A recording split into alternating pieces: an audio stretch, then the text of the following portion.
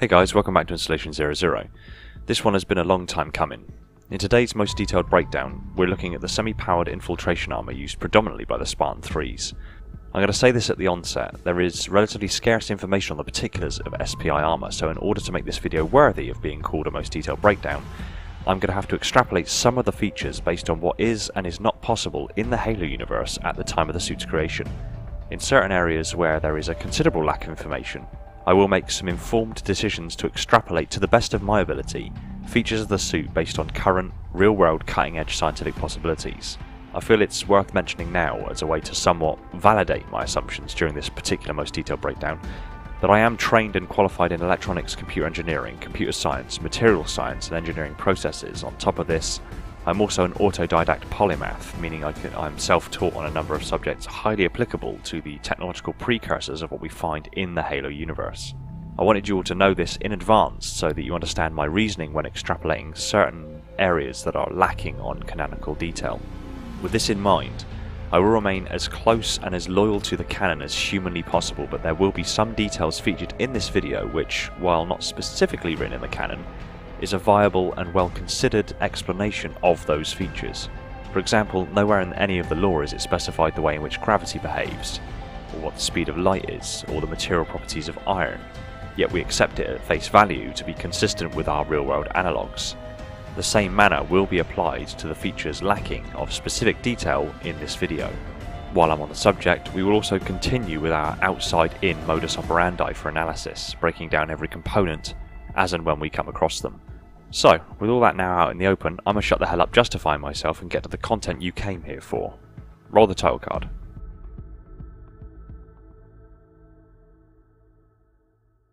Described as part Legionnaire mail, part tactical body armour, and part chameleon, the semi powered infiltration armour, or SPI, was developed in tandem with the Spartan 3 program.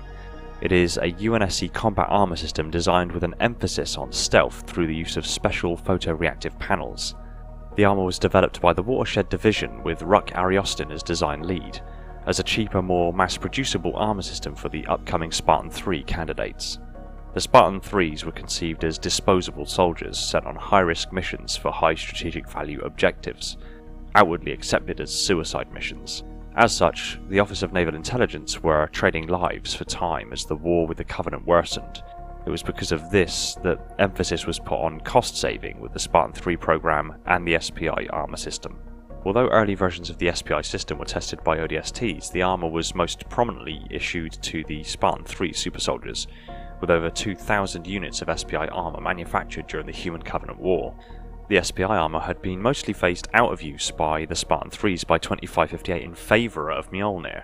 However, SPI continues to fill a usage niche in covert roles, particularly within Oni. The Spartan 3s in Vita Lopez's Ferret team often used SPI instead of Mjolnir, due to the former's superior stealth capabilities. The Mark I SPI armour was developed on a tight budget and tight time constraints, having to outfit all 300 Alpha Company Spartan 3s before their deployment onto the suicide mission codenamed Operation Prometheus. Improvements were made to the Mark I platform for application to Beta Company, resulting in the particular iteration of SPI armour that we will now look at in detail the Mark II SPI armour the differences from 1 to 2 being significant but ultimately and simply improvements on systems that were already in situ rather than implementation of completely new technology. So let's now start our analysis by looking at the outer plating. The outer shell of the SPI armour comprises a series of lightweight laminate plates with a photoreactive coating. The plates are a composite laminate, meaning that they are an assembly of layers of composite materials which are joined to provide required engineering properties including in-plane stiffness, bending stiffness, strength, and coefficient of thermal expansion. They are grey or olive green in colour, but have been known to be more ornately coloured, but this is generally thought to be an unnecessary aesthetic choice given that the suit's primary function is to be invisible. The composite materials used for the plates include carbon nanofiber reinforced polymers evidenced by the armour's resistance to heat, the polymer in question likely being ultra high molecular weight polyethylene or a close analogue, and titanium diboride, which is an alloy of titanium and boron, which is known to be an extremely hard ceramic which has good thermal conductivity and is a reasonable electrical conductor. These properties are desirable as the plates have built-in temperature regulation systems which enables the armor systems to automatically adjust the surface temperature of the plates to match that of the environment, rendering the suit practically invisible to infrared or heat-seeking imaging. Semiconducting filaments inlaid within the composite armor's outer shell make use of the Peltier effect by using electricity that passes between a junction between two semiconductors to either draw heat away, thereby cooling the armor surface, or heating the surface up. The intended operational range being from near freezing to about 40 degrees centigrade, as with an expected atmospheric temperature gradient. The electrical conductivity of titanium diboride is useful in regards to the photoreactive coating, facilitating the camouflaging functionality.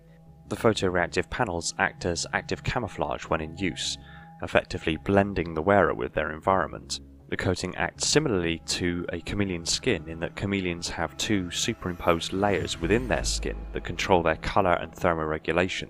The top layer contains a lattice of guanine nanocrystals, and by exciting this lattice, the spaces between the nanocrystals can be manipulated, which in turn affects which wavelengths of light are reflected and which are absorbed. Exciting the lattice increases the distance between the nanocrystals, and the skin reflects longer wavelengths of light. Thus, in a relaxed state, the crystals reflect blues and greens, but in an excited state, the longer wavelengths such as yellows, oranges, and reds are reflected.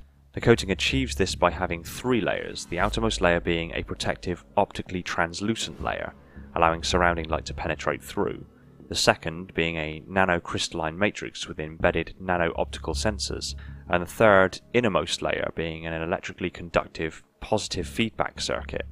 The ambient hue of light passes through the protective layer and excites the optical sensors in a very specific response to the wavelength of light it receives. This excitation is detected by an underlying feedback circuit which then attenuates, moderates, and transmits this signal pattern across the surface of the photoreactive panels, causing the rest of the crystalline matrix to adjust its nanoscale topography to reflect light of the same wavelength detected, while absorbing the rest. The downside to this camouflage technology is its sensitivity.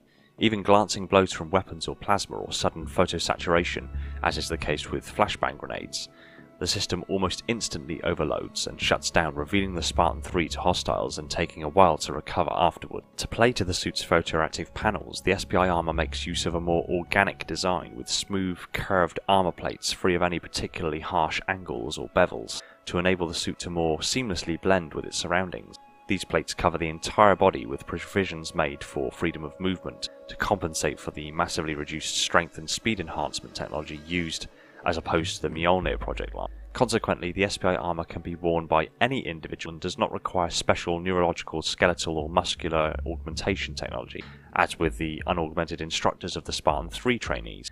The SPI armor is not as bulky or as heavy as Mjolnir, although the plating material is also less durable, as evidenced when Kelly 087 dented a Spartan 3's chest plate with her fist when encountering the Spartan 3 on Onyx for the first time.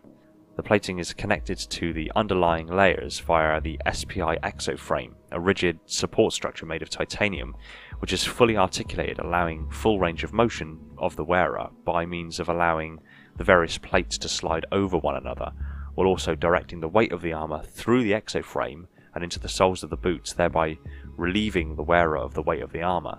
The SPI exoframe also possesses modest strength and speed enhancement technology, the system is passive, meaning that it works on the basis of the wearer's own strengths and simply adds to it via a series of actuators, rather than picking up nervous impulses or neural interfaces to interpret movement ahead of time. The actuators are purely mechanical in function as opposed to Mjolnir's amorphous liquid crystal to save on cost and energy requirements. Exceptions to this are the Rift class gauntlets and the tactile braces. The Rifts are shock resistant and force amplifying, the gauntlets are mechanically connected to the SPI exoframe just behind the wrist via an adjustable fixture, meaning the gauntlet is held in suspension mere millimeters away from the knuckles of the user, allowing the force of a blow to be transferred exclusively through the armour rather than the body of the wearer.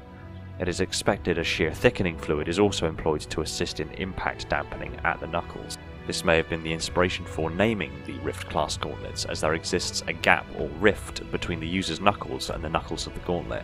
Over the wrist, there is also an armour piece which covers some force amplification servos, allowing the user to strike considerably harder than the armour would otherwise enable them to do, closing the strike force gap between Mjolnir and SPI, though not completely. The armour's gauntlet also features a data port to which small electronic devices such as datapads can be connected. The tactile bracers are a set of four plates over the boots which are all articulated and interconnected with an array of actuators granting the wearer modest improvements to speed and the dexterity of the foot. This allows the wearer more sure footing on uneven surfaces as the boots are significantly more mobile than they would be with a simple hinged armour plating and giving the wearer some force feedback to add additional power and speed to their stride without sacrificing the armour's protection at the ankles, and maintaining a smooth form factor for the camouflage system. The SPI armour also generally lacks an energy shield system, making the user far more vulnerable to enemy fire. However, the Spartan 3 Headhunters wore experimental armour that was equipped with energy shields due to their elite nature and value. However, power must be drawn from the energy shields to recharge the suit's active camouflage module. In the back of the torso armour is the primary power cell of the SPI armour set, a low profile shielded BA55901 PLMD battery cell is located between the shoulder blades beneath a triangular like covering plate. This battery is a long store battery with a high energy density able to produce power for the SPI armour for extended periods of time.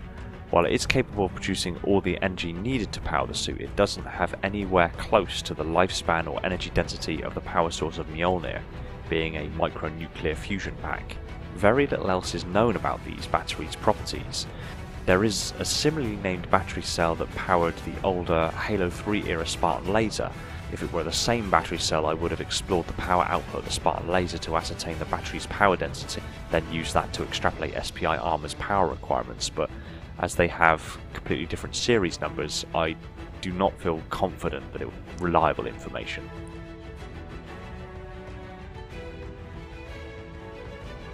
Under the suit's armor plates and photoactive panels, we come across the tech suit. The suit is composed of a layered mesh of ballistic liquid nanocrystal that is significantly more effective than traditional body armor materials such as Kevlar, while being less bulky.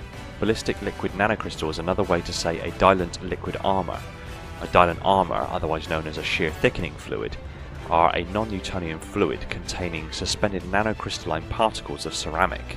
When a shear force is exerted against the fluid, the particles within the fluid form an almost instantaneous crystalline matrix, hardening the fluid to 98% the mechanical strength of the associated ceramic material in the blink of an eye, thereby acting as a liquid armour the induced crystalline matrix relaxing and returning to its normal viscosity nearly immediately afterward. This suit also contains a hermetic seal, allowing the suits to operate in vacuum and toxic environments. The pressured internal environment required for survival is actually provided by mechanical back pressure. The suit is designed to apply mechanical pressure to the wearer's body to keep them comfortable and operationally effective in vacuum. This also means that the oxygen supply for the wearer need only be provided within the helmet rather than the entire body, as the body is already experiencing back pressure. The suit also contains a small oxygen reserve for around 7 minutes, and judging by the bulk around the rear of the helmet, it is likely the small oxygen tanks are located within the helmet. The tech suit's leggings and sleeves can be removed independently, assisting the wearer in modularity and ability to swap out components on the field. Like Mjolnir, the SPI armor has dedicated ports allowing for quick injection of biofoam or other battlefield pharmaceuticals. These were seldom used as the Spartan 3s were generally sent on suicide missions and were augmented to operate far beyond the point that shock would have incapacitated any other person, even Spartan 2s.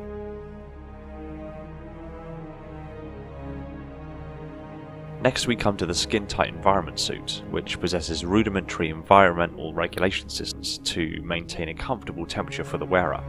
It actively heats and cools the internal climate to keep the wearer at an optimal operating temperature. However, the system is not designed for extensive use, and it will become increasingly uncomfortable to wear if it is continually used over long periods of time. This is due to the nature of the temperature regulation system being, similarly to the armour plates, based on the Peltier effect, this means that although cooling the system works effectively at the onset, it does so by re- redirecting heat with the flow of electricity to the positive side of the semiconducting Peltier heat pumps Over time, the heat on the positive terminal backfeeds to the cool side and thus cancels out the cooling process. This creates a gradual temperature gradient, and although the skin tight suit is designed to be moisture wicking, drawing sweat away from the body, over time the suit can become saturated and begin to cling, catch, and rub against the wearer's skin making it particularly uncomfortable. Spartan 3s have been witnessed at removing their helmets and sections of their armour during operations when opportunity arises to try to reduce their temperature and allow the suit to vent somewhat.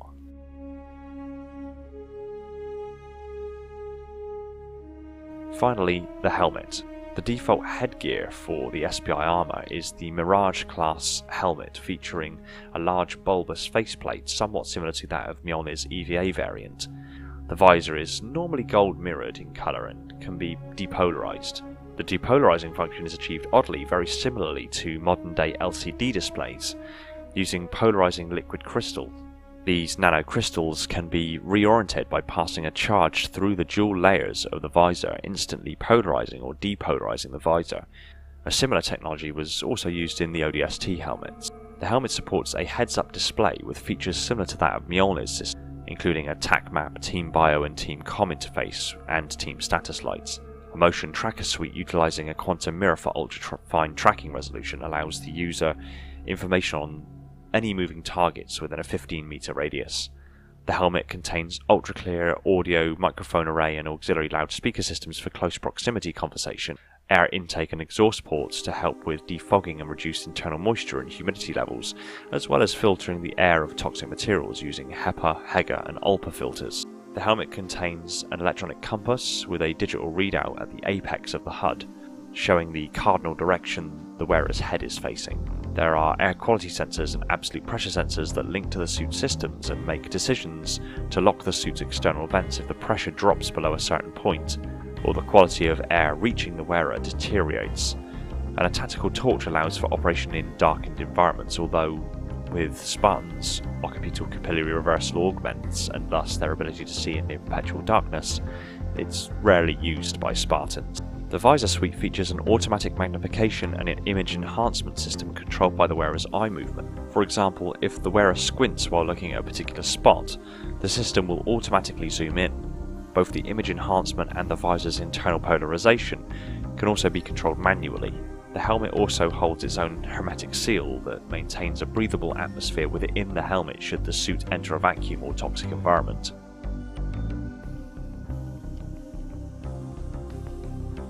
All in all, the SPI systems are very bare bones, but still surprisingly effective combat systems, given that the SPI suits were made as cheaply as was practically possible, given the nature of the disposable soldier methodology Colonel James Ackerson adopted for the Spartan 3 program.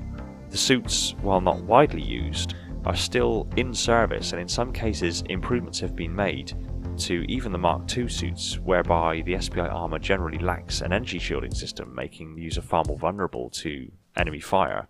As previously mentioned, Spartan 3 Headhunters wore experimental armour that was equipped with energy shields due to their elite nature, and this design innovation was a compromise, however, as the power had to be drawn from the energy shields to recharge the active camouflage module. The SPI armour, as utilised by the Spartan 3s, is a fantastic example of what desperate times and desperate measures can result in. Although the operations the Spartans of Alpha and Beta companies undertook cost practically every single soul in the successful but ultimately costly endeavour, the SPI armour performed its job effectively. The improvements that led to the Mark II, that then went into service with Gamma Company, not only greatly improved the combat effectiveness of the Gammas, but was also so well received that it is still in service today. Camouflage systems and an organic form factor with the large faceless mirrored visor instilled fear and dread in the enemy, appearing as ghostly phantom, fighting with a motivation and fury even the Spartan 2s lack. The SPI epitomizes the Spartan 3s and makes for one of the more unique and interesting armour sets in the UNSC.